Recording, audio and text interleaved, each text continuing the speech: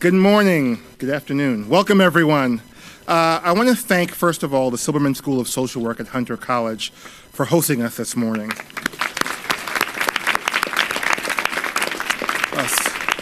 Uh, the Silberman School and Hunter College is a big partner of ours, so we also thank them for that. Uh, and so I want to thank you, Frank Sanchez, Vice Chancellor for Student Affairs at CUNY, for being here. Um, President Jennifer Raab of Hunter College. Uh, I want to thank you for hosting us as well. Um, we have lots of members of the administration here who we want to uh, thank, and uh, they've all been working incredibly hard on the announcement that we're making today. Uh, DOHMH Commissioner Dr. Mary Bassett. So because there are a lot of them, we should probably like just sort of applaud through. Uh, DOHMH Executive Deputy Commissioner of Mental Hygiene, Dr. Derek, Gary Belkin. DOHMH Deputy Commissioner of the Division of Family and Child Health, Dr. George Askew. The Director of the Mayor's Office of Criminal Justice, Liz Glazer. The Director of the Mayor's Office of Veterans Affairs, Commissioner Loree Sutton. Department of Homeless Services, Deputy Commissioner for Family Services, Jamani Hilton. ACS Deputy Commissioner for Policy Planning and Management, Andrew White. ACS Deputy Commissioner for Early Care and Education, Lorelei Vargas. New York Police Department Deputy Commissioner Susan Herman. Uh, Deputy Chief of Staff to the First Lady, uh, Jackie Bray. Uh, I'm, I'm sorry, I'm Richard Buery. we know who you are. You're great. Thank you. I, that wasn't for applause. Just um, uh, we have a number of elected officials here this morning. Also, Congressman Charlie Rangel, Assemblyman David Weprin, Assemblyman Robert Rodriguez, Assemblywoman Jo Anne Simon.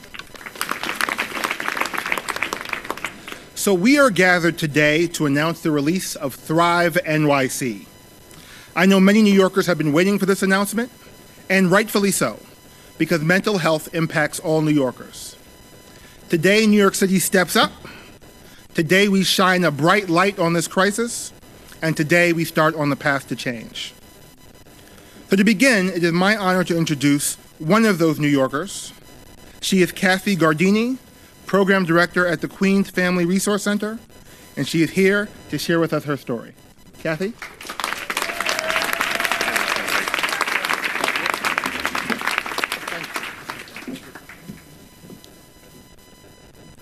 Just bear with me a moment. He introduced me. Yes, my name is Kathy Gardini. I'm a mom of two and a grandmother of four. Okay, let me just pull this together. At the age of six, my son was diagnosed with ADHD and moved along to a mood disorder. I was alone. Didn't know what the word advocate meant.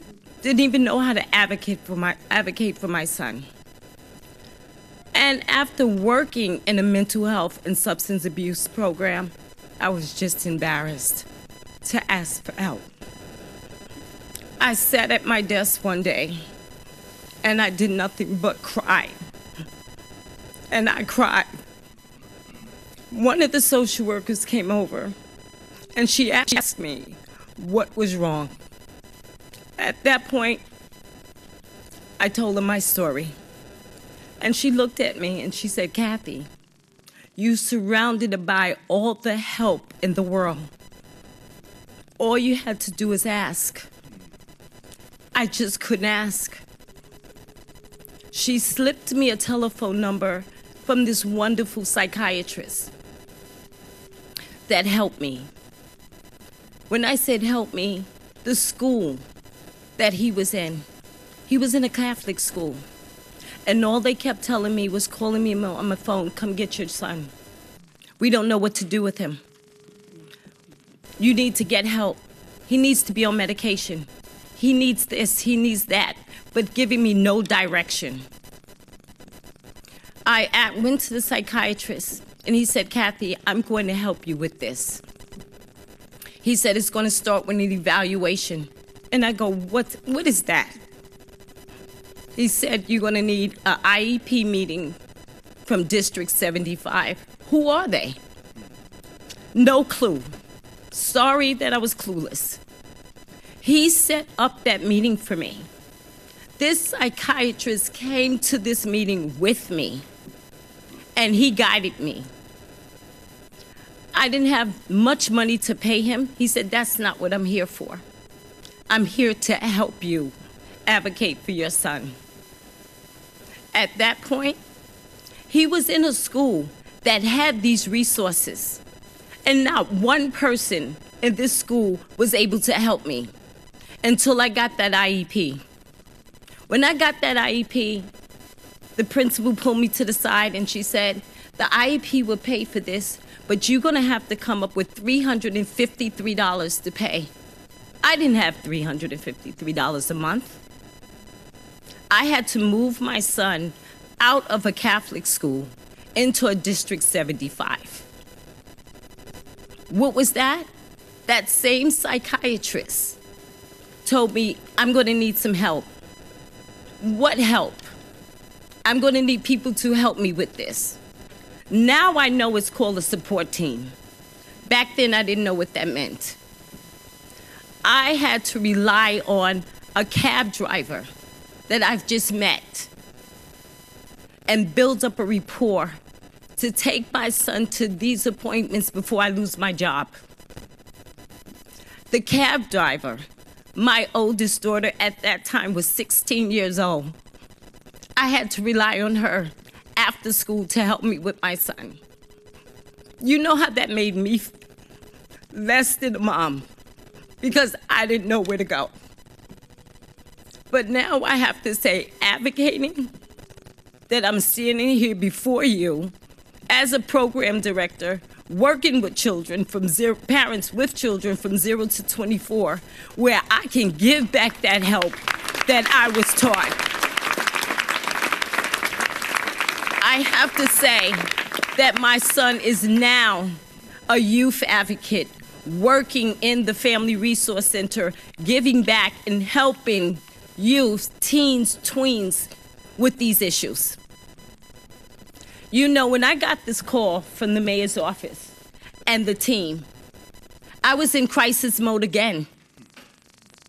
And everything I know again went out the window. My 17 year old grandson was going through a crisis. Stopped taking his medication when he was diagnosed with ADHD. Turned to the street pills, alcohol, marijuana. Am I embarrassed to say that now? No. Because I was sitting in a training, even though I went blank. The instructor, we was doing the exercise, and she said, you have a piece of paper in front of you. If you have 15 minutes to speak to someone, and when she said speak to someone, 15 minutes, what's five questions you would ask? And you know why she said the five? because you can count them on one hand. So I went and I wrote down five questions. And by me working for a substance abuse program, I asked for a favor. I was not embarrassed. I called the CEO of that substance abuse program. And he said, Kathy, give me your daughter's telephone number, her name. Go find your grandson, because at that point he was missing. I said, Why I do this, you find him. And before I wrapped up that 15 minutes, that program had a van downstairs in front of my daughter's door, taking him off the treatment. I've learned all of this, and I'm standing here before you advocating for parents with children with these issues. And I was on the mayor's life um, roadmap to New York City. I participate in the questions so we can actually put an end to this stigma. I'm actually the co chair of an anti stigma work group. So we can take the stigma away and off the street. We have too many people out here walking around that do not know where to go get help. And if we take that stigma away, we can all, everyone in this room can help. And that's what I have to say. That's my story.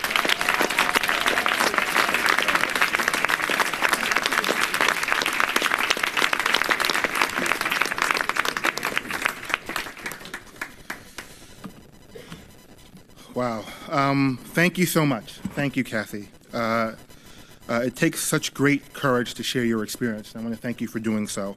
I also want to acknowledge two uh, more folks that have come Councilman Ydanis Rodriguez. Thank you. And Assemblyman Luis Sepulveda. So, you know, Kathy speaks very powerfully about the problem of stigma. We know that stigma and fear can play a role in preventing people from seeking the care they need. It influences how individuals with mental illness are viewed and how they view themselves. When it comes to mental health, we need a culture change. We know that it will not happen overnight.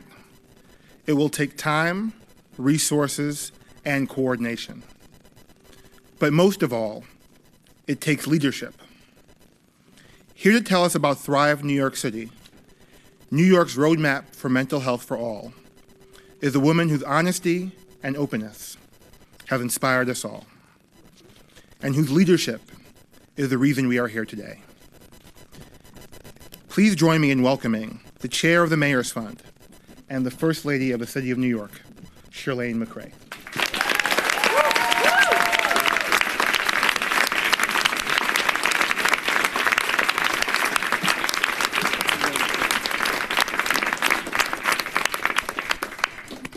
Thank you so much, Rich. Thank you, Kathy, for that incredibly moving story, which is your life. Um, thank you, family, for being here with me today. Um, I'm never as happy as when my family is with me, um, and hope that what I have to say today brings hope to families all across our city. Kathy, your story brings hope to everyone who believes that each of us has the power to make a real and lasting difference in the world. Standing here with us today, elected officials, advocates, commissioners, medical experts, and community leaders, on behalf of all of you and on behalf of the hundreds of other New Yorkers who contributed their energy and experience to this project, it is my great pleasure to announce the release of Thrive NYC, a mental health roadmap for all.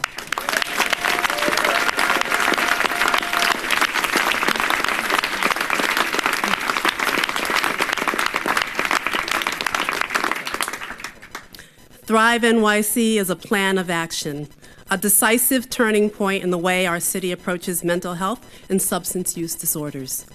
The roadmap includes 54 initiatives, 23 of which are brand new. It includes an investment of $850 million over the next four years. And it includes previously unpublished data, eye opening maps, and user guides for common mental health conditions. With this roadmap, New York is stepping up and taking on a crisis that has been eroding the foundation of our city and destroying our families for far too long. Our work on the roadmap officially began 11 months ago when we launched this effort. But for me, for Bill, and for so many of our partners, the journey to this moment started a long time ago. In my case, the journey started with my parents, who both suffered from depression. It continued with members of my extended family who struggled, who struggled with substance misuse and polar disorder, bipolar disorder. It continued with a close childhood friend who took her own life. And it continued with our remarkable daughter, Chiara, who is here with us today, along with her equally remarkable brother, Dante.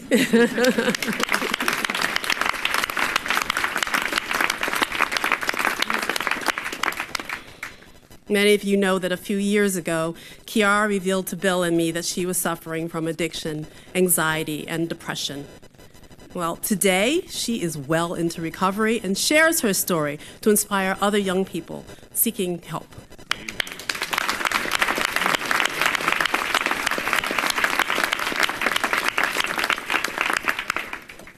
So, mental illness has always been a part of my life, a part of my family.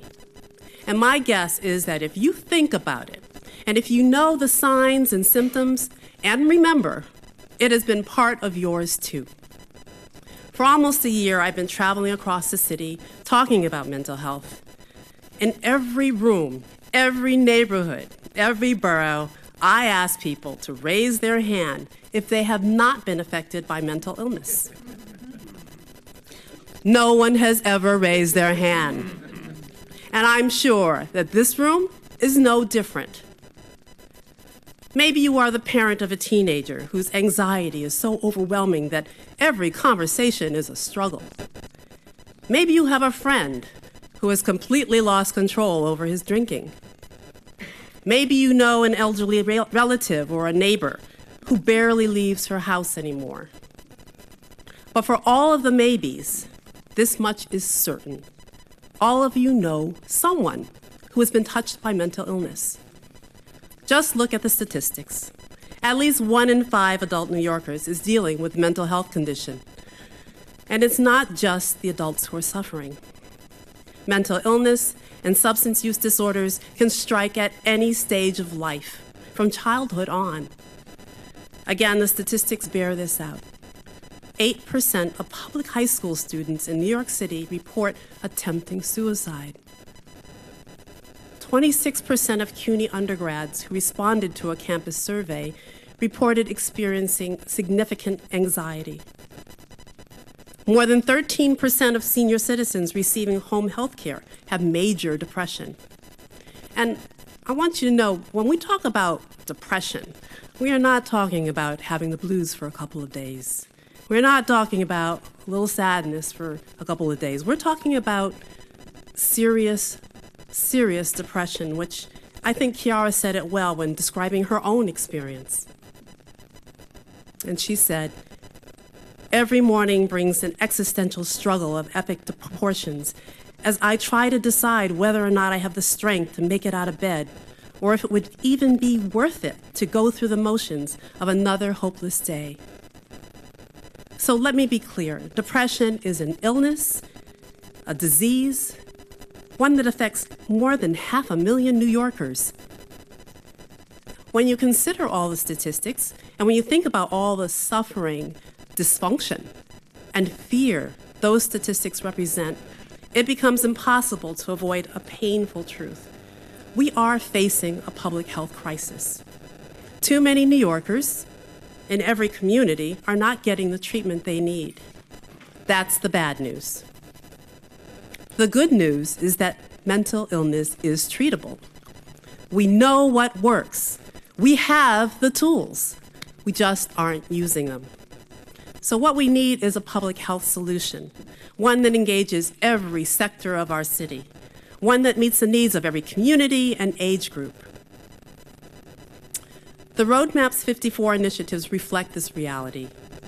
With this roadmap, we are sending a message that we will no longer ignore suffering that we know how to fix. Right now, despite the best efforts of many smart and dedicated people, finding the right mental health resources you need is like being dropped into a foreign city with no map and only a vague knowledge of the language. We wander down streets that lead to nowhere. We are forced to rely on the advice of strangers who don't understand us, despite their best intentions. And after a while, we start wondering if we'd be better off just giving up. But giving up is never a good response. What New Yorkers need is more resources, better resources, resources that are easy to access. And that is exactly what we're creating with Thrive NYC. In launching 54 initiatives, we are massively expanding our city's capacity to treat mental illness and promote mental health. Now, our work is grounded and best practices and shaped by six guiding principles based on hundreds of conversations with medical experts, community leaders, and individual New Yorkers who know firsthand the pain of mental illness. From them, we learn the importance of changing the culture. We need to make mental health everyone's business. And from them, we came to appreciate the wisdom of acting early. If we give New Yorkers more tools to weather life's challenges, we can prevent mental illness from taking root. And for them, we are making a long term commitment to close treatment gaps. We need to provide every New Yorker with access to the right care in the right place at the right time. So, for example, For our youngest New Yorkers, we will expand social emotional learning to all pre K and early learn sites because every child needs to help. Every child needs help developing skills, the skills they need to make sense of their emotions and adapt to new situations. And no child should be punished for untreated conduct disorders.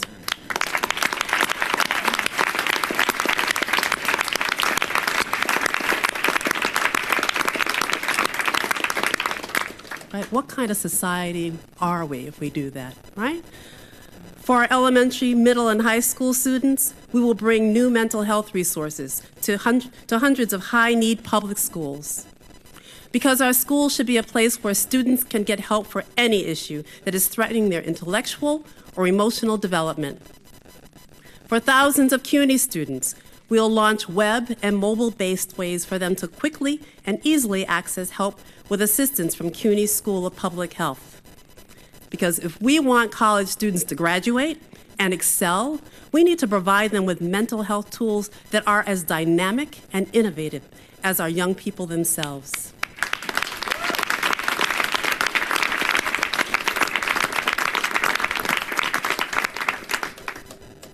For New Yorkers who are battling an addiction to opioids, we will train and authorize at least 1,000 new providers to prescribe buprenorphine. I'm doing that. buprenorphine. yeah, try and say that three times quickly. Uh, this medication stops cravings and prevents withdrawal symptoms. And because we have a moral and medical obligation to make sure no one who needs it goes without life saving medication. For all New Yorkers, we will create a mental health corps that will send hundreds of physicians and social workers out into the neighborhoods where they are needed most.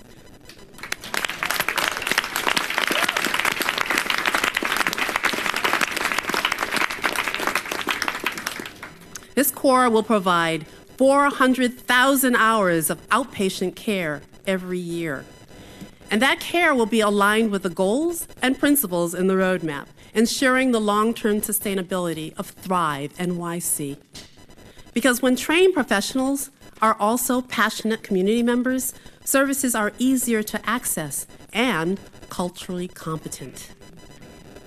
And for all New Yorkers, we will launch NYC Support a program finder to help people quickly and easily find resources that match their unique needs. If a New Yorker needs help, NYC support will be there for them 24 7, 365 days a year.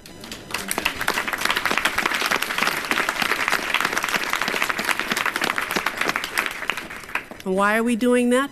Because we can all use a guide when it comes to navigating the mental health system.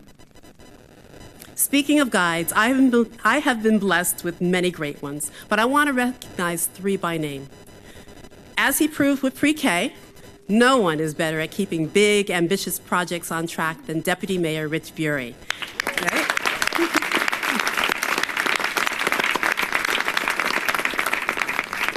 and his leadership will be even more valuable as we put the roadmap into action. Dr. Mary Bassett, our health commissioner, has never wavered in her commitment to this work. This is a woman who lives and breathes community health, a woman who knows how to get services to where they are needed.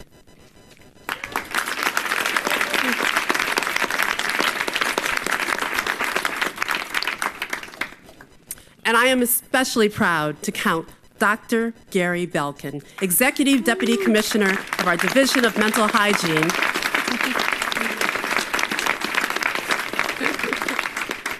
I am so proud to count him as a staunch friend and partner. Gary is a visionary. There's really no other way to say it. And he has poured a lifetime of his, of his experience into this roadmap. Thank you so much, Dr. Belkin.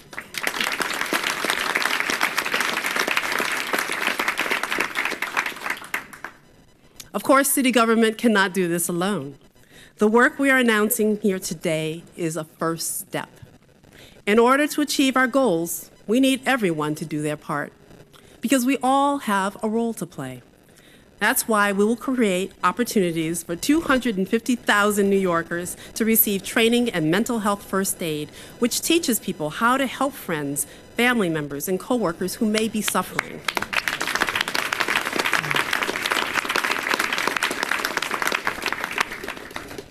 And that's why we will recruit peer specialists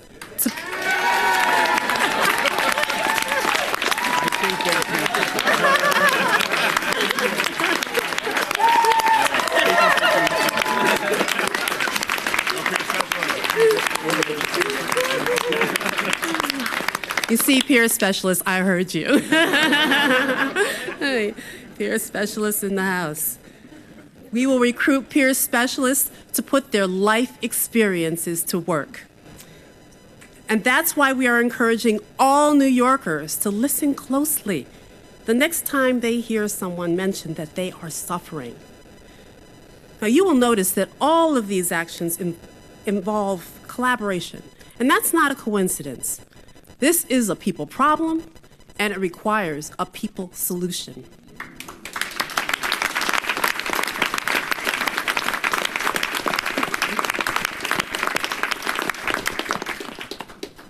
If we work together, we can change the mindset around the mind. If we work together, we can make it as easy to talk about anxiety as it is to talk about allergies. If we work together, we can create a city where every New Yorker can live their life to the fullest. A city where every New Yorker can thrive. And now for our Spanish speaking neighbors. Hoy estamos anunciando Thrive NYC, una nueva visión y estrategia para abordar necesidades de servicios de salud mental en nuestra ciudad.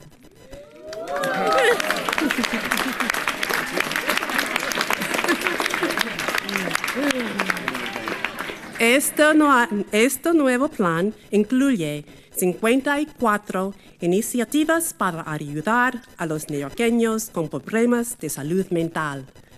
Trabajando juntos podemos crear una ciudad en la que todos tengan la oportunidad de disfrutar una vida sana y productiva.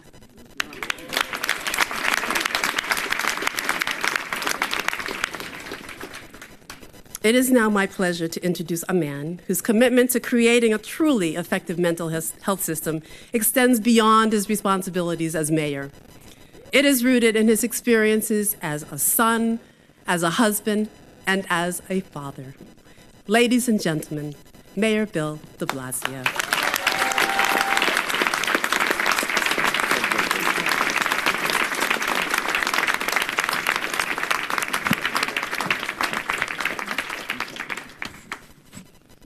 I feel such gratitude at this moment for everything that Chirlane has devoted herself to and what it's going to mean for the people of this city. But even more so, I feel such pride. And for Chiara and Dante and I, this is a moment for our family to celebrate someone who is the core of everything in our family, Chirlane McCray.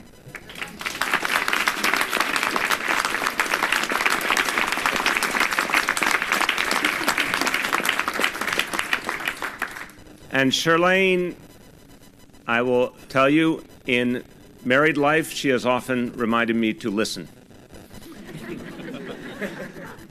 know what I'm talking about? Peer specialists.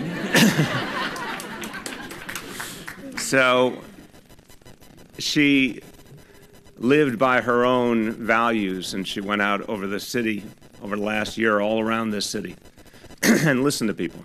She listened to the experts and she listened to everyday New Yorkers. She listened to parents who were searching for help. She listened to young people. She listened to seniors, and she listened to people from all different communities. And she would tell me each night what she experienced, and it was a passionate work for her, a labor of love. And each time she came back with even more desire to help, and to make sure people were reached. They were reached in a language they could understand in a way that would actually make a difference in their lives. So she literally channeled the people of the city into this work. And it's important to understand this that she produced, Thrive NYC, this is a roadmap rooted in human reality. This is about actually responding to the lives of our people the way they really are lived and helping them to live better. Chirlane is always one to work in collaboration with others. She mentioned some of her great collaborators in this effort, Deputy Mayor Buery, Commissioner Bassett, uh, Executive Deputy Commissioner Belkin, and so many others. Chirlane created a, a team environment, and that's why you see a work of such extraordinary scope. And what is so clear in all that Chirlane said to us is that mental health challenges can frame the entire life of an individual or even a whole family. That's the reality. Something that happens in the tra- trajectory of someone's life, something that happens to their mental health, can create an irreparable reality. Or it could be something that we recognize and treat, and in some cases, even a reality that turns around and leaves someone stronger. I know uh, from my own experiences both sides of that spectrum. I certainly saw in my father, and I say this with real sorrow, I saw what happens when a problem is not addressed. I saw what happens when someone's suffering and doesn't know where to turn for help or can't be reached. And for my father, it was a very different time, obviously. It was a time where it was even harder to talk about these issues or, or understand them. Uh, in the 1940s, he went off to war. He went off, he volunteered to serve his country, served in the Pacific in the Army, unfortunately, in some of the bloodiest battles of that war, including the Battle of Okinawa. Lost half a leg, came back with what we thought was a permanent physical challenge we thought, as children, we thought, I'm sure so many people around him. Here's someone who was a hero and has a physical scar for what he did for his country. That was not even the half of it. Because the, the mental challenge was so much greater. We would call it PTSD today. We'd have many words for it. But we didn't have those words back then. We didn't have that idea. We didn't understand what it means for someone to have gone through that kind of agony and pain, to have seen so much suffering, and what it does to them. And we didn't even know how to think about what it meant for a family. I remember for years thinking my father has a problem, a challenge, it's a physical challenge, and oh, he's also an alcoholic. I literally didn't put the two together for the longest time, and I think a lot of other people in our society didn't, especially with our returning veterans. We didn't want to say that the pain of their service, the pain they brought back from their service, was at the core of all these challenges. But it affected us all, every single member of our family. As someone said to me once, that war never ended for our family because it was with us every single day. And then when his alcoholism became acute, except for trying to talk him into seeking help, there was no more sophisticated understanding of what to do, and my father brushed off every attempt to get him help. And that's essentially where it ended. We didn't know how to do anything different. We were a family that had our strengths, but we didn't know how to do anything that would break through. It felt like the unmovable reality. Two generations later, I could have felt myself on a similar road, and Chirlane could have felt herself on a similar road to the one she saw, a very different reality, but a very painful one she saw with her parents and other members of her family. But there was a real difference. Chiara came forward with strength and honesty about her challenges and we all got to the work of trying to figure it out. And I will not lie to you, despite all that we are blessed to have, we didn't know what to do next. Many, many times there was an unclear path. But over time, largely due to Chirlane's extraordinary devotion and her constant research, and Chiara's extraordinary commitment to her recovery, we found a pathway. And I want you to know that there are so many good things to learn when someone finds their way. Chiara taught us so much. She made Chirlane and Dante and I very proud in the process. She taught us a lot about strength and character. She taught us about things we didn't know about, like Alcoholics Anonymous, and how in that program there was a value put on helping the next person. And Chiara threw herself into that work and was able to help so many others.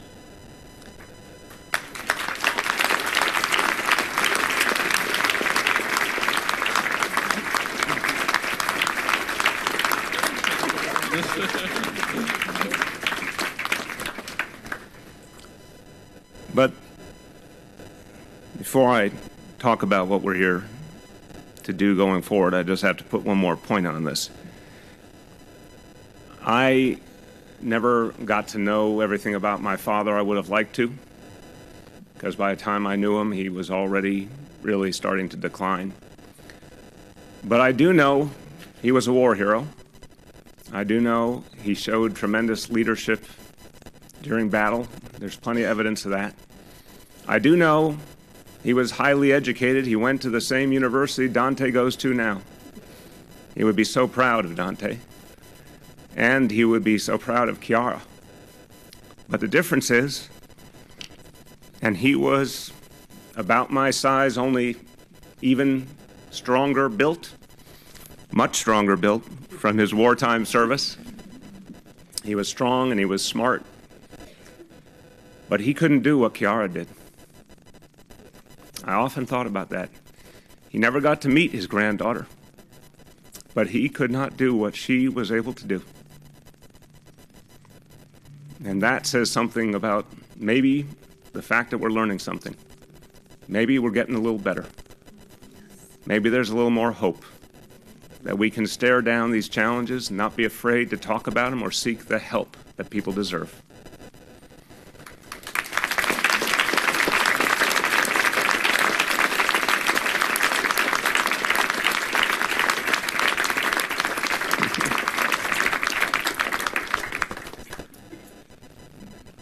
What does this mean? What does this plan mean? It means that when someone has a problem, they can call a number and get a human being who will navigate for them, who will find the help they need and get them to it.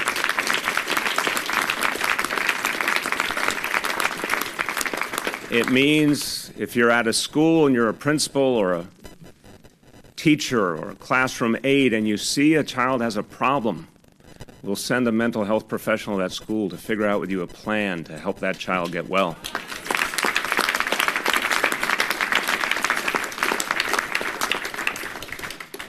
It simply means there will be more mental health care available, and we will help people to reach the help that they deserve. It's as simple as that.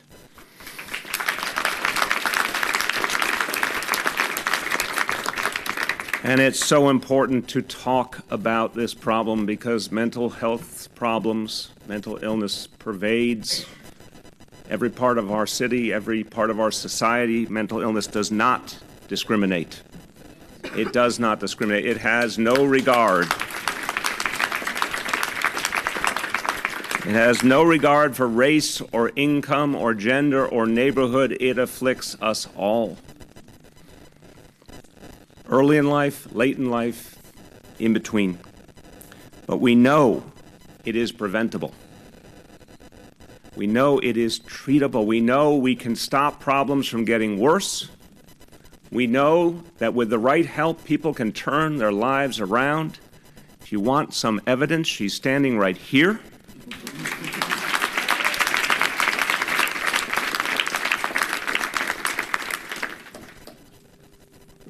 We know that we can see a problem early in life with the right help, it never fully manifests.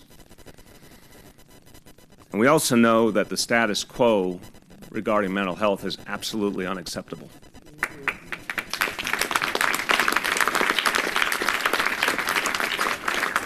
Because think about a status quo, it doesn't even let us talk about the problem, let alone get people the help they need. And today, we begin a process. And it will take years. This one's not easy. We have taken on a lot of challenges. This may be one of the very toughest. It will take years. But we will address this problem. We will go ahead first at it. And we know people can get well. If we bring the pieces together, if we actually treat people as a whole, if we bring all the strands together, people can get well. People have needed something like this for a long time. And even though it will take years, it must begin today it must begin. It must begin aggressively with all we have because the people of this city deserve nothing less. Thank you.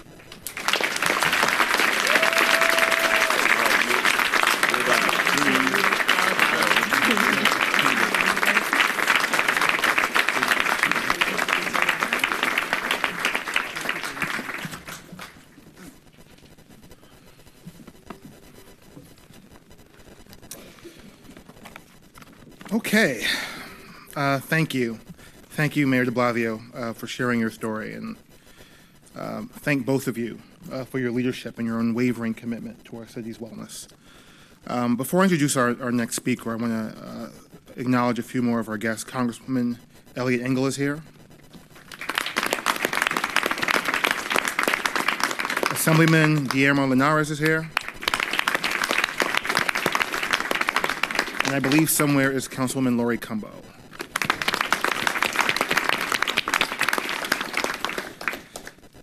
Uh, we have one more story to share um, and to give. Uh, I want to thank him also for coming to share his story and to give us another perspective on why building a stronger mental health system is so important for our city. It's my pleasure to introduce Mike Thompson, Principal of Global Human Resource Services at Price Waterhouse Cooper.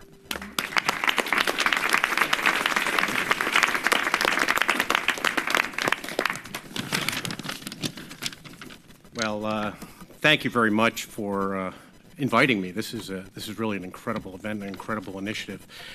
Uh, I think, as you heard, I'm a am I'm, I'm a partner with uh, PricewaterhouseCoopers, uh, and I specialize in healthcare and benefits. Um, you know, a, a couple years ago, our firm actually looked at the economics, uh, the total cost of brain disease in the U.S., and it determined that uh, in a given year, we spend almost a trillion dollars in economic value because of brain disease. Now, the reality is, business actually understands that more of that is not related to the cost of care, but actually the cost in terms of productivity, performance, and the impact that has on, on our economy. Uh, a few weeks ago, we actually had a, a uh, summit on mental health down on Wall Street uh, at the New York Stock Exchange. Incredible event. Uh, and we brought together CEOs, uh, mental health leaders, and, this, and the, uh, the mayor's, mayor's office uh, to talk about mental health. And what was really interesting is when the CEOs talked about it, they didn't talk about it in the context of illness. They talked about people and they talked about how their people, they want them to have their A game. And, and you know, from that standpoint, I think it, it you know, this affects us all. It's not every, you know, it's not just uh, uh, others outside of our, our workforces. But beyond that, what was interesting is that they all, all shared personal stories about how it had affected them, how it affected their families, how it affected their friends. And I think that can't be surprising to us, you know, given that one in five people are affected by mental illness. You know, some people are actually affected in, in a more serious way than others. Uh, some have actually experienced what I would say is tragic and, and painful loss, and, I, and I'm one of them. Um, my brother um, took his life, uh, committed suicide um, a little about 30 years ago. And that experience um, never goes away. It has an impact on how you think about the world, uh, how you think about yourself, and how you think about how you react to others uh, going forward. But in spite of the fact that one in five experience some sort of mental health issue, we don't talk about it. We don't talk about it. So what's what's encouraging though is some of the leading companies here in New York and elsewhere are starting to break that silence.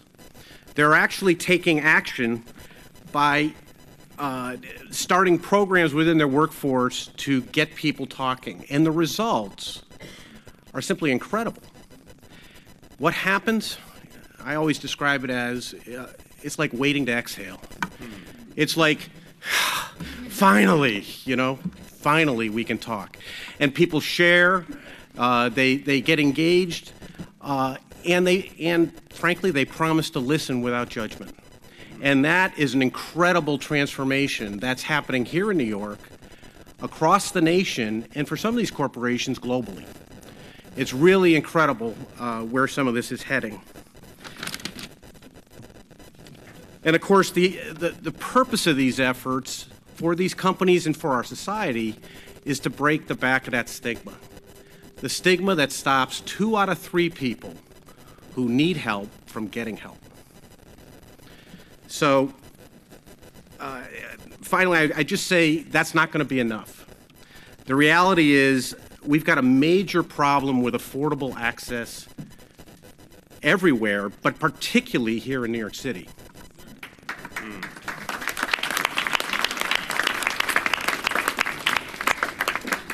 And that's not an issue that really impacts the business executives, our business executives. They can afford, but it impacts the average New Yorker. And it's an issue that I think we, will only be addressed if we bring the stakeholders together to understand the issue and then to solve for it. Uh, it will take time, but it has to be addressed. Businesses do believe in the power of an engaged workforce and they increasingly understand that the well being of their workforce is foundational to their success and their sustainability. I think what we have found with these corporations that have gone above and beyond is that when they make that effort to break the silence, to, re- to remove the stigma, the way people react is so positive. It's like they care about my well being. It's a very positive reaction. So I, I just want to say today we have a tremendous opportunity to make a difference for people like us. I don't think this is an issue about them, it's about us. You know, our families, our friends, our coworkers, it's about us and I think this is a tremendous opportunity. I, and finally, I just want to personally applaud the mayor, the first lady, and the mayor's office for making a bold and, and major statement about improving mental health in our community, and may this grow beyond there.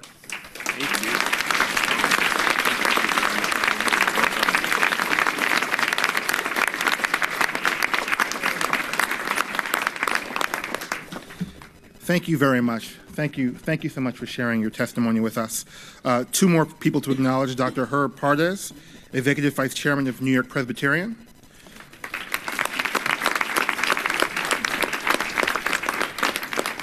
I also want to acknowledge Ayman El Mohandes, the Dean of the CUNY School of Public Health and a big partner of ours.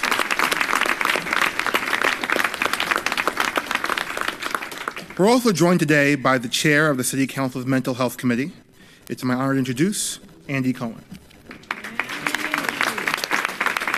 Thank you. Good afternoon. Um, First of all, I just want to say that the First Lady did not develop this plan in some office in City Hall. I, I personally saw her out in the field on many, many occasions in every corner of the city, really personally doing the work. When she says she listened, she means her personally. It was something that really she took ownership of and really led the way. So I want to say thank you again on behalf of, of everybody. I- I'll be very brief, but as long as it's a uh, Your Soul Monday, um, as a teenager, I had a problem with a- alcohol and substance abuse. Uh, and, uh, you know, I stand before you now, 26 years and 350 some odd days later, because because my, my family was able to get the resources that I needed to get help. Uh, but that's not the circumstances that so many New Yorkers find themselves in. And this administration really firmly believes that whether you get help is, should not be a function of your accident of birth. And so I want to say thank you again for that. This roadmap is really going to be transformative to people's lives. Uh, and the work here really starts today, and we're all rolling up our sleeves and ready to start doing it. So thank you.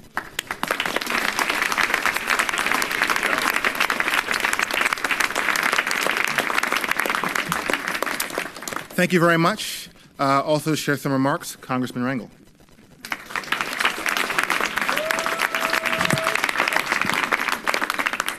As you can tell, I've been around a long time.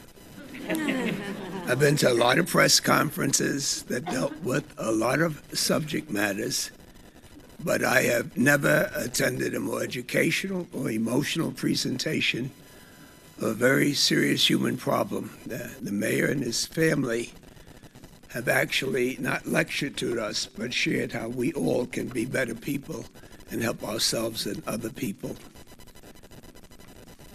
I want you to know I am more concerned about where do we go from here.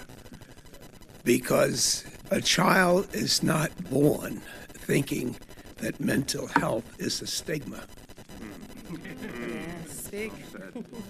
A child has no idea about what racism is about, or what country you came from, or what rich and poor means. And so, what we're trying to do here, through the strength and courage of the first family of New York City, is try to undo what we have done to ourselves.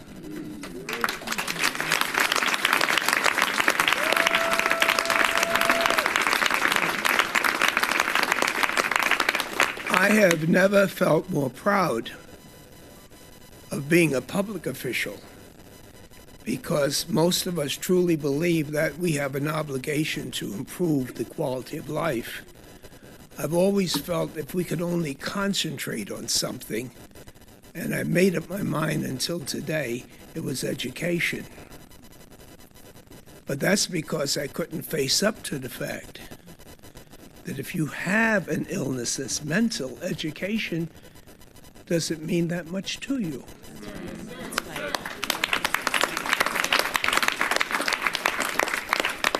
And so the reason I asked to speak, which my wife would say that's not very unusual, but believe me, it, it really is, is because I want to reach out to the spiritual community.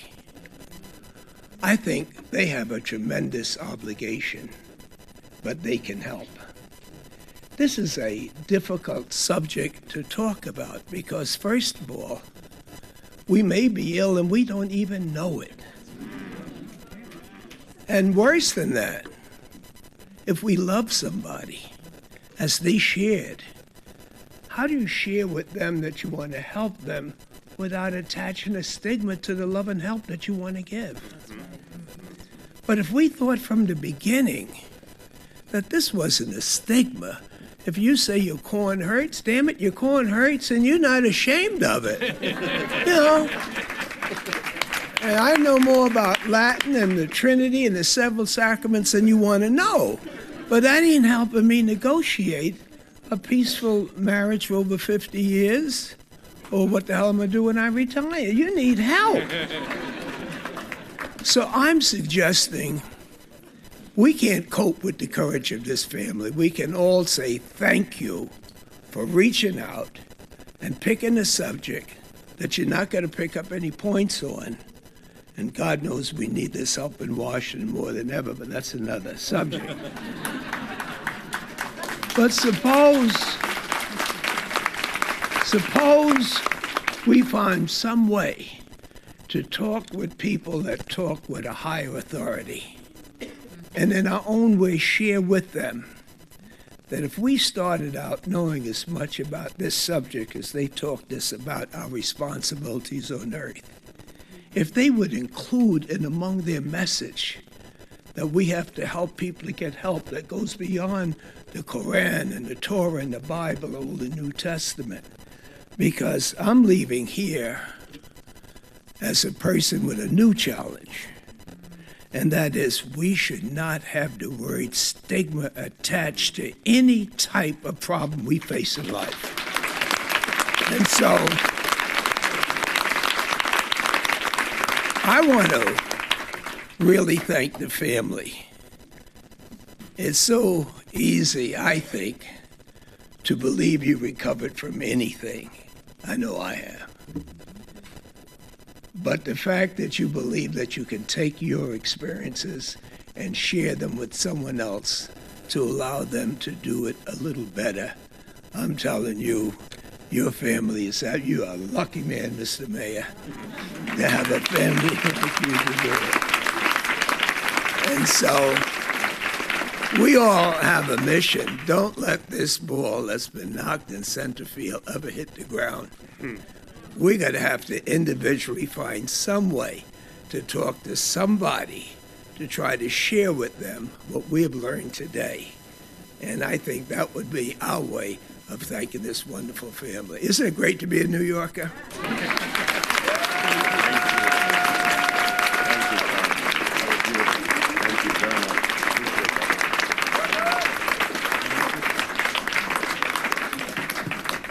All right. Thank you so much. Um, we'd, like to, we'd like to now open the floor for on topic questions. Could we ask, because it was um, two years ago this Christmas Eve when we first heard from Chiara, when the YouTube video right before you took office uh, was posted, could, could we just ask how Chiara is doing and, and uh, see what you think of all this?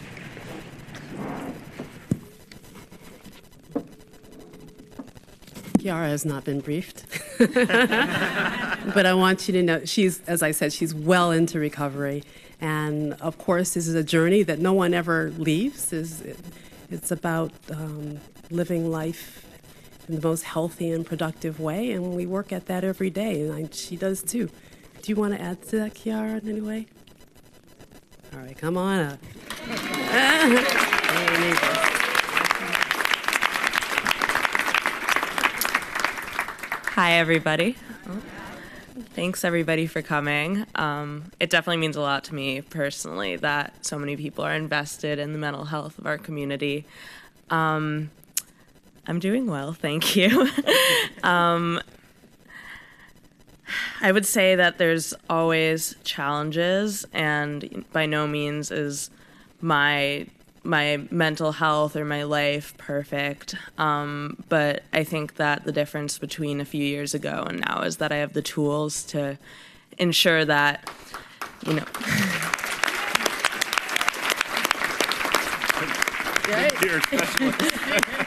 now I have the tools to ensure that, um, you know, no matter how much I may be struggling with something, whether it's a problem in my life that my mental health amplifies, or just, you know, another day where it's hard to get out of bed or anything, um, you know, I have that hope. Um, the tool of hope, really, I think, is something I developed that it will get better. And that's a gift that I could easily, you know, by circumstance not have been afforded. But today, I'm grateful to say that I am able to see through to the other side.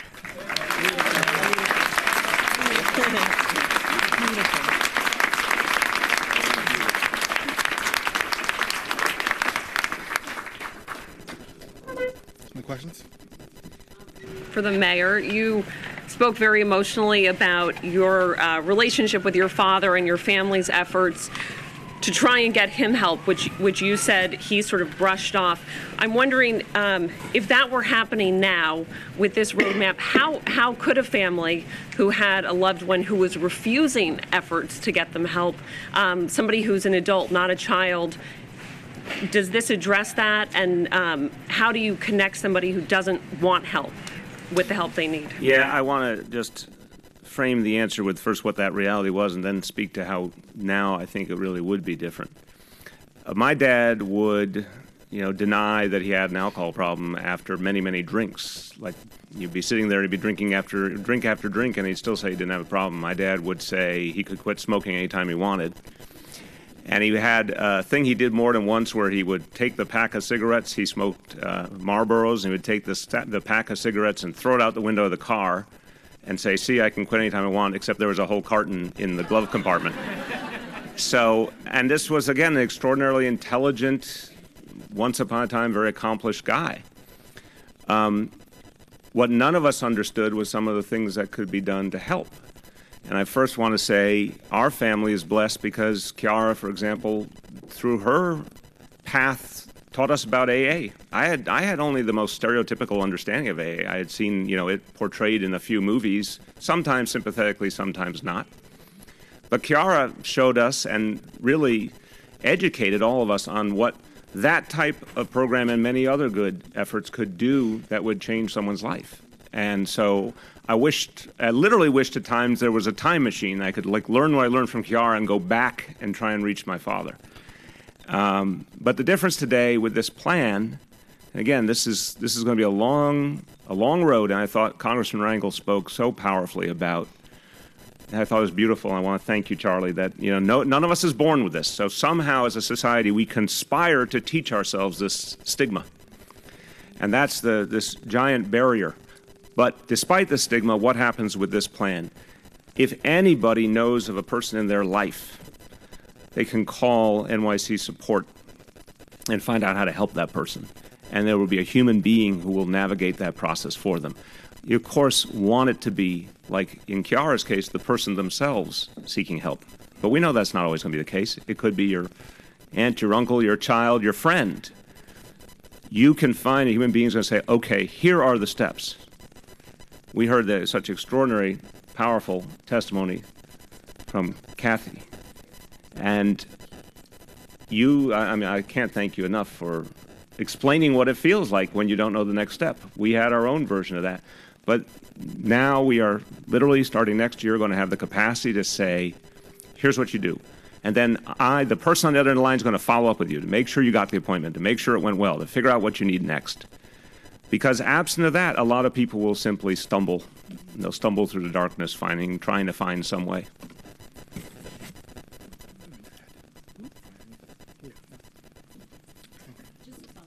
Ms. McCray, can you just talk a little bit about NYC support? Would you say that's sort of the key to this roadmap? Uh, just listening to New Yorkers over the past 11 months, many of them talked about the fact that they didn't know how to navigate. Would you say that that just making that support available, that human support, is is the key to this whole plan? It is absolutely the key. So many people I spoke with said they want they need they need special care. We all need special care. Where we live, where we work, where we study, we need care in our language, in our neighborhoods. I, it's it, this is a complicated city, and all of us are you know very different individuals, and you just can't send. It's not one-stop shopping. So to have someone, it's not one-stop shopping, right? Yes, yes. So to have someone help you navigate, a real person, not you know, not a machine, a real person to talk to, say, well, I'm concerned about this, or I'm concerned about that, or I'm, you know, I speak Cantonese, or I speak Spanish. To have someone on the other end of the line help you get to that appointment, check and make sure you got there, make sure there wasn't a six six month waiting list. That matters so much. And remember too that when people are are depressed, or say it's that person you know who's suffering, it is really hard to reach out.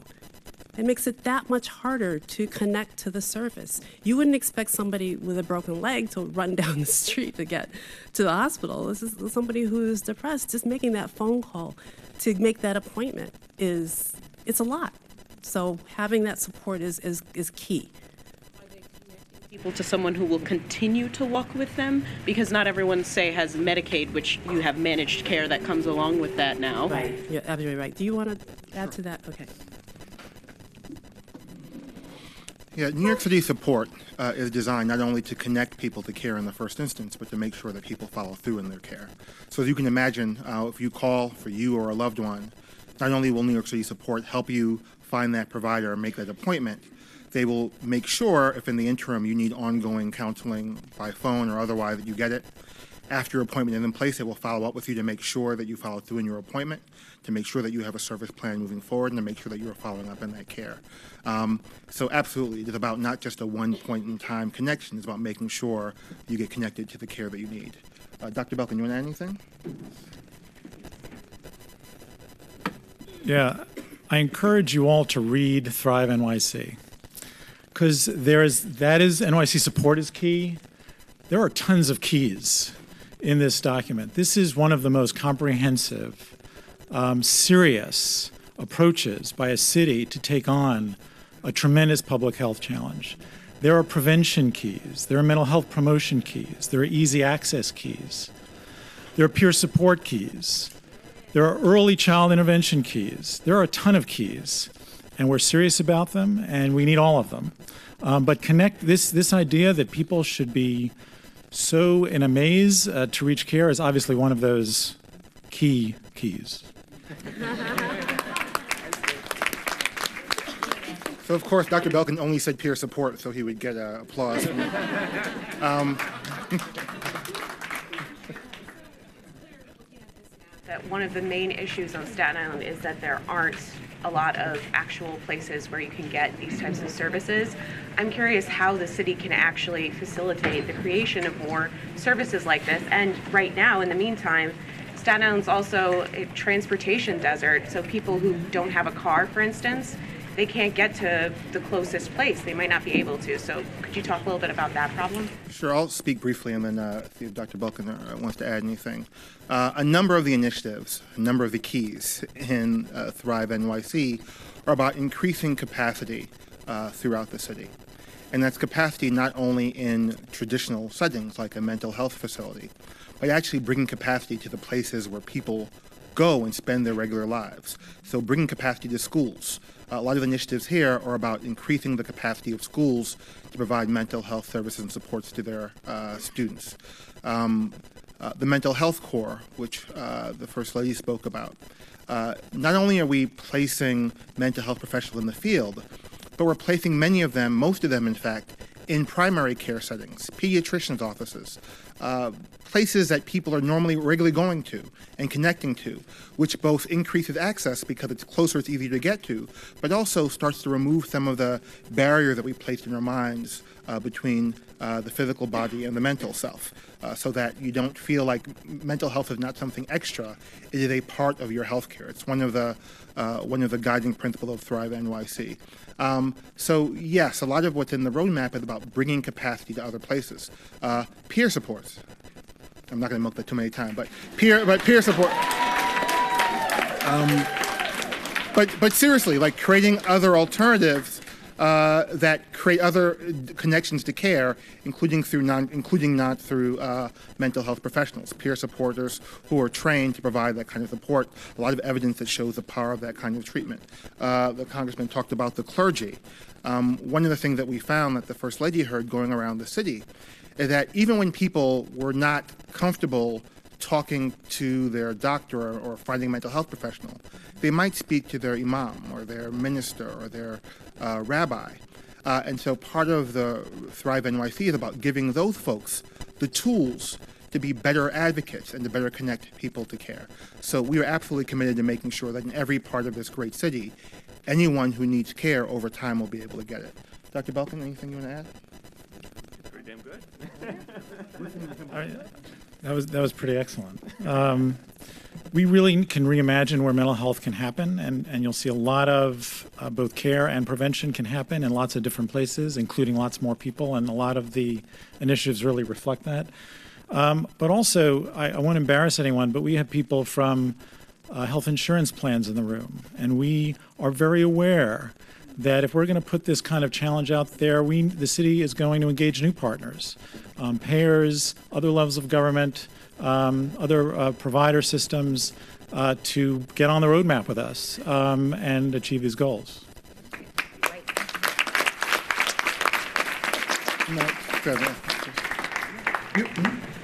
Um, thank you. I'm here with the National Association of um, Social Workers, and um, here in this great School of Social Work, we We're have. only, I'm sorry, we're only, we're only taking press questions at this moment, okay? All right, I'm sorry. I'm sorry. I know, I know, I'm sorry. I, I'm trying to follow directions. I'm sorry. I apologize. we were both curious, how exactly, I, I, a lot of healthcare professionals say that there's a shortage of psychiatrists, psychologists, as it is, um, to treat mental health problems. How exactly does this increase that capacity? Are you incentive? In, in underserved neighborhoods, you can't force somebody into Medicaid or Medicare into accepting it, or you can't force someone into uh, working with an insurance provider. How are Mhm. you? How exactly are you doing that in The this? First Lady's going to take that question. just going to start and say that that's actually one of the keys in the roadmap is that we have to build capacity. Um, it's not about just about psychiatrists, psychologists, social workers. It's about peer specialists. It's about no, it's true. It's it's really true. And it's about building capacity by training people who already do this work. I mean, there's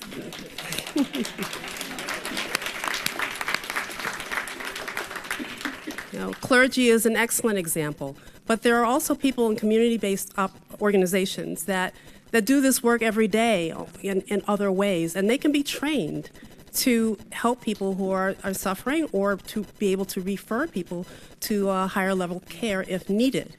And I, I want to add to that that we're also training 250,000 New Yorkers in mental health first aid. That is going to add to our capacity tremendously.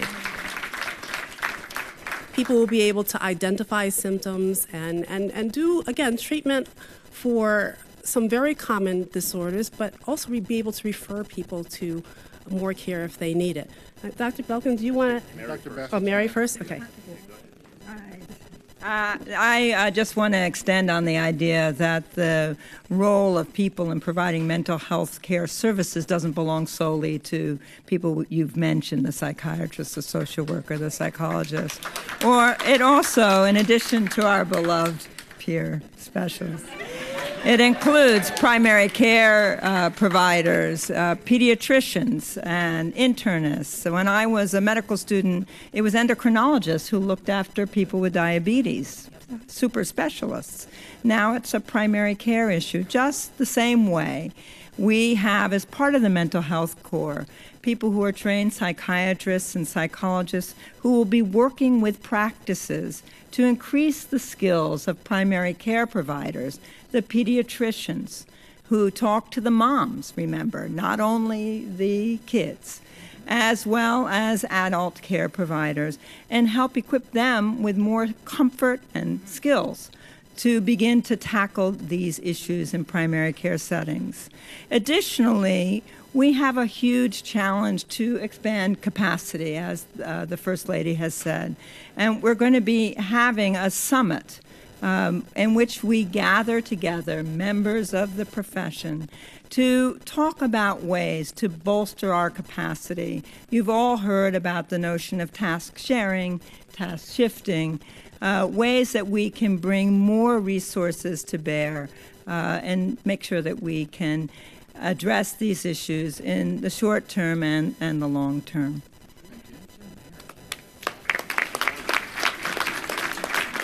Thank you very much. In addition to everything that Dr. Bassett said and the First Lady said, remember we're here at Hunter for a reason. Um, schools like Hunter generate hundreds of professionals every year, graduate every year, and right now there aren't necessarily the placements in community uh, in primary care facilities uh, in the community for them to go to. By creating places like the Mental Health Corps, by creating jobs in the community, premier- providing direct care, um, we are creating the places for that capacity to come forward. Um, let's come back to the front. Um, on on my subway ride here, I was on a subway car with a man who was uh, seemed to be extremely mentally ill, um, and I know there are New Yorkers who every day interact with somebody, sometimes on their commute or their walk to work, who see somebody who is dealing with extreme mental illness. I'm wondering how this roadmap addresses people like that, and as a New Yorker. Uh, what should you do, if anything, when you encounter someone like that? Okay. Dr. Belkin, you want to take the answer initially?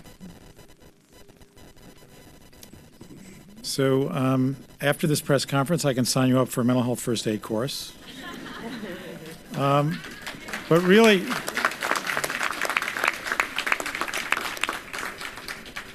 but really empowering ourselves with knowledge is one step to be a good citizen to people who are having trouble. And so I'm going to take your question too, because there were sort of two questions there. What about that? I think you used the phrase extreme mentally ill.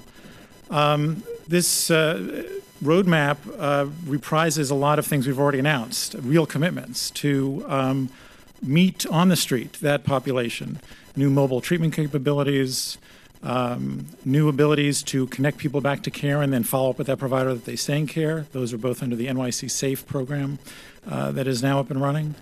Um, and uh, obviously, the commitment uh, that was just shown past week in um, supportive housing and a huge expansion of supportive housing.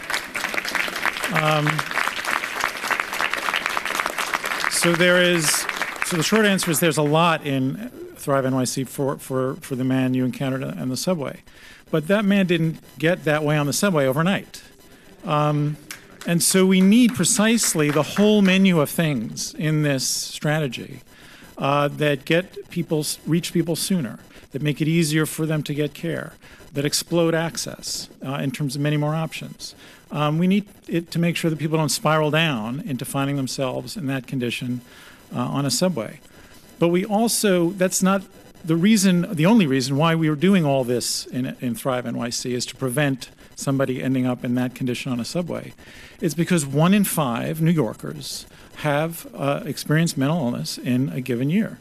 Um, and while we, we don't have to choose being concerned about one man over, over another, um, and we need to appreciate uh, that while a lot of attention, sensationalized attention, I think, goes to the extreme problems, um, there's a lot of uh, cost to the larger problem. Depression kills, substance use robs people of their lives, and both destroy families. And so we are stepping up to that problem, and the fix for both is the similarly comprehensive menu that we're, that we're uh, putting out today. Thank you. Thank you very much. Uh, I would also add that, of course, New Yorkers should always remember that if you see someone that you think needs help, call 311. That triggers our response uh, from the Department of Homeless Services or otherwise to go get that person help. Um, so we should always remember that we can use the tools that we have available to us already.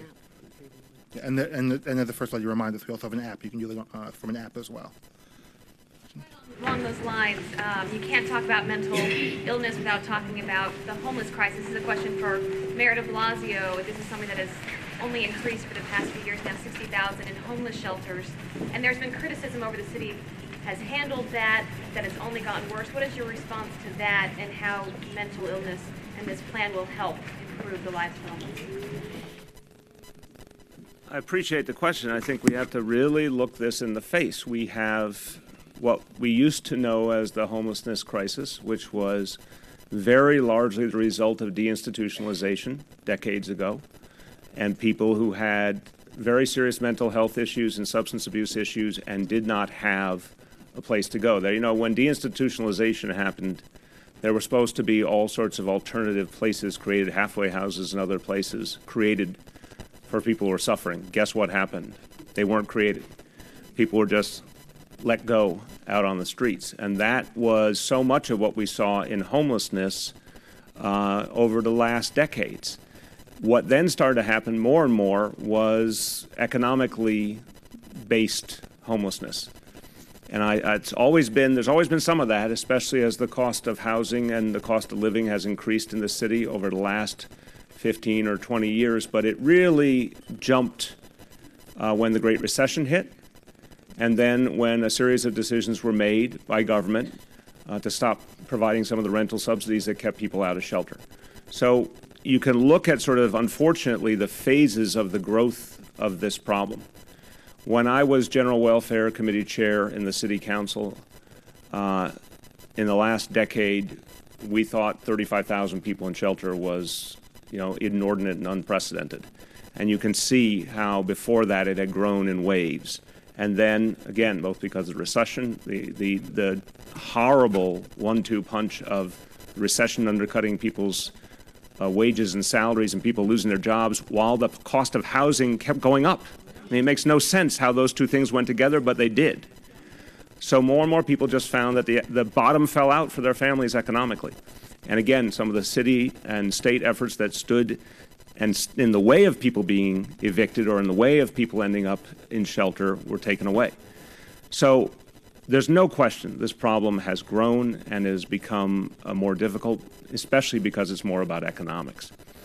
Um, I think the difference here is to recognize what more and more of our homeless families go through is, and you'll see this in the statistics, they're families, first of all, not individuals as much as it used to be. They are people who are working or were working recently. So there are people who are economically viable. They could just find uh, enough income and a place that they could afford to live. For those folks, what we're talking about today has no bearing, honestly. This is about addressing people with uh, mental health and substance abuse problems, and that's actually fewer and fewer of the people coming through the doors of our shelters. But of course, there are still a number of people in our shelters, and obviously, the vast majority of the people who are on the street 24 hours, which at this moment we believe is between three and 4,000 people who make the street their home permanently. For those folks, obviously, substance abuse and mental health problems are predominant. And what I think the difference will be now is that the capacity we've been building up uh, you certainly see changes in how Department of Homeless Services goes out and reaches people and tries to get them into some kind of uh, help. Uh, NYPD has done a lot more to train officers and how to be a part of that process. The additional safe havens we've added, which is going to be about 500 uh, safe havens over time that are going to allow us uh, to get people in who haven't been willing to go to bigger shelters, but will go to, say, a house of, house of worship with a few beds and with people there they trust so that they can get to the substance abuse and the uh, mental health services they need. And if that works, if you can get them to the services and keep them in those services, they will then go either to a shelter or ideally to supportive housing, but not back to the streets. I think the biggest answer to your question is this is an effort that starts in earnest in the coming months. You'll start to feel the effects as we go into next year. And the more the more we reach people the more we undercut some of the trends in terms of mental health and substance abuse that we've experienced for generations. And they've gone unanswered in large part. So, what we want to do is go to the root. And if every year we can reduce the number of people whose mental illness and substance abuse problems spiral out of control, we will inevitably reduce the amount of homelessness in this city in the coming years. Time for just a couple more questions. Uh, Follow up on, on her question. Does that mean the mental health corps and maybe the mental health first aid won't or will be available to in, in homeless shelters or extended to homeless shelters? Yeah, the mental health first aid, in fact, our goal is to train a quarter million New Yorkers over the next five years. But many of the first uh, wave of those trainings will be for city employees, including uh, staff at DHS shelters, um, school staff, et cetera. All right, last question. Um, Yeah, um, the I'm mayor. sorry. Good. Sorry. I thought- Uh, you spoke a lot about shattering the stigma and about how your daughter came forward and found recovery by coming forward. I was just curious, you, you have a lot of mental health history in your family. Have you personally ever sought mental health services? Have you considered going to an Al Anon meeting or anything of that nature? In the on the Al-Anon meeting, we talked with Chiara over time, and you know, for a period of time, it looked like something that we should do. But I have to say, honestly, um, I don't mean to brag in front of you, and I know that uh, recovery is an everyday thing. But Chiara's recovery has been extraordinary and fast, and as I said, she turned around and has put a lot of time into helping others. So I think once upon a time we assumed that might be something we would be doing, but at this point it feels like she's in a very good place. And if that ever is something that she thinks we should do or we think we should do, we would. For myself, um, back when I was in uh, graduate school for a time, I was going through some challenges and I, I sought some counseling for like a few weeks. I found it helpful, but honestly, at that point, thought like a few weeks was good and I felt, you know, I got a few things off my chest and felt better. And a lot of uh, friends like talked things through with me and that helped. And I think that is a example of the fact that I think one of the most important messages here today that help comes in many forms. And um, it, it can be uh, someone in your life, uh, it could be someone with the first aid training. It could be a peer. It could be your family doctor. It could be a psychologist or a psychiatrist. It could be, you know, a rehab program. It, it takes many, many forms. For me, you know, that limited experience was successful. But I think the important thing is to be very comfortable with whatever it is. And I remember, you know, back this was many years ago, but I remember thinking, you know, was this something somehow to be ashamed of? And I literally said to myself, why am I even asking myself that question? And it was exactly what Charlie said. It's it's in all of us, and we have to get it out of all of us. That is uh, that is everybody's business. A stigma is in effect. I think Charlie said it very very powerfully. A, a stigma is almost a social contract.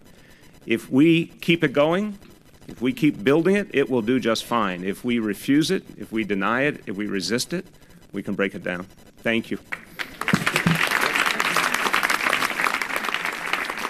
So, uh, thank, uh, thank you all for being here today. Uh, just for the press, the mayor is going to hold off topic in conference room 155 behind us. Everyone else, thank you very much for being here.